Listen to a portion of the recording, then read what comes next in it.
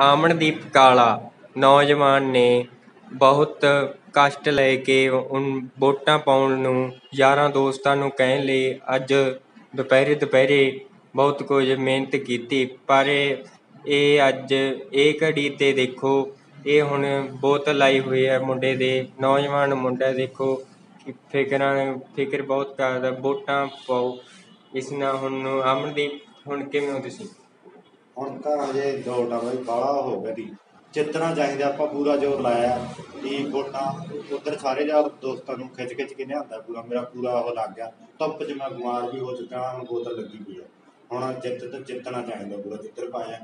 ਤੇ ਰੱਬ ਵੀ ਜਿਤਾਊਗਾ, ਪੱਕਾ ਜਿਤਾਊਗਾ। ਫੇਰ ਹੀ ਸਰਕਾਰ ਵਧੀਆ ਬਣੂਗੀ। ਜੇ ਉਹ ਜਿੱਤੂਗਾ, ਜਿੱਧਰ ਮੈਂ ਵੋਟਾਂ ਪਵਾਈਆਂ ਨੇ, ਲੋਕਾਂ ਦਾ ਵੀ ਜ਼ੋਰ ਲੱਗਿਆ ਤੇ ਮੈਂ ਵੀ ਫੁੱਲ ਜ਼ੋਰ ਲਾ ਆਪਣੇ ਯਾਰਾਂ ਦੋਸਤਾਂ ਦੇ ਵੀ ਜਿਹੜੇ ਦਿੱਤੇ ਨੇ ਪੂਰੇ ਉਹਨਾਂ ਨੂੰ ਜਾ ਚੱਕ ਕੇ ਲਿਆਇਆ ਧੁੱਪ ਧੁੱਪ 'ਚ।